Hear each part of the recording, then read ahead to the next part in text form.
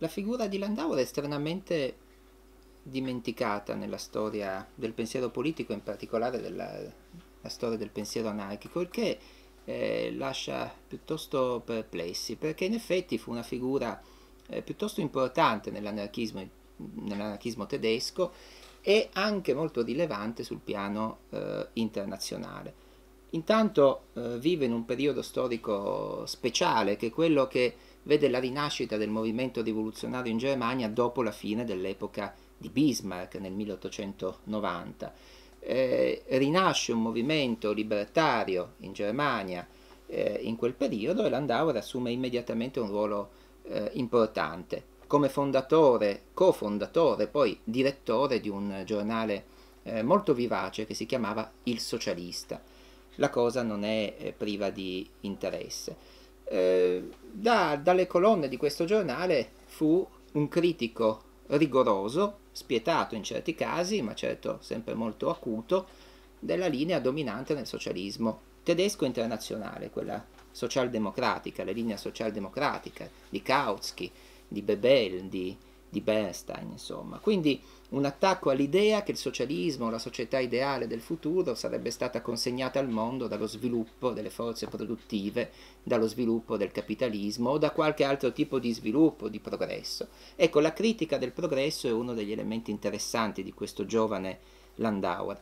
Eh, reputa che il socialismo libertario, l'anarchia in una parola, non sarà eh, frutto di alcun progresso, ma della volontà orientata a uno scopo di un movimento cosciente fatto di individui. Quindi, prima di tutto, l'anarchia, la società del futuro, è eh, il risultato di una trasformazione insieme sociale, politica e spirituale eh, importante e riguardante tutti gli uomini e le donne. Ecco, questo è un altro elemento interessante. Landauer non fu un classista, non che non riconoscesse il fatto che la società nell'epoca del capitalismo sia divisa in classi sociali, ma non pensava, e questo è un punto importante, che una classe in particolare avesse il ruolo privilegiato di portare l'intera società sui lidi della società, eh, della, della società futura, dell'anarchia, dell'anarcosocialismo.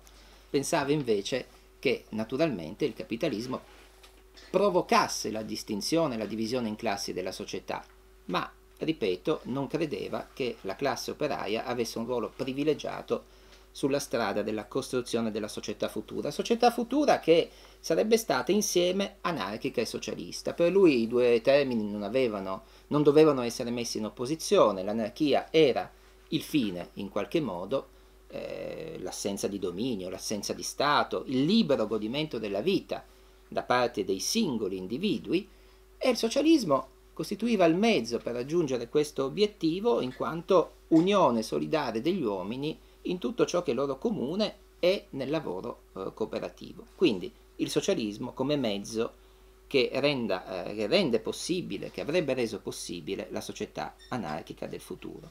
In tutto questo naturalmente si vede una concezione etica dell'anarchismo, eh, una correlazione tra mezzi e fini che non è un dato originale, eh, non è il contributo originale di Landauer che lo recupera da una tradizione risalente, ciò che è interessante in Landauer è il realismo che accompagna questa visione.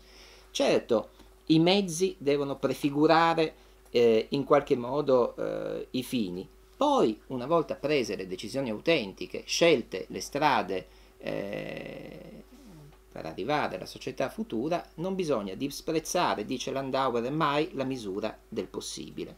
Fare i conti, insomma, con l'esperienza viva delle lotte concrete in cui Landauer, peraltro, fu anche direttamente impegnato.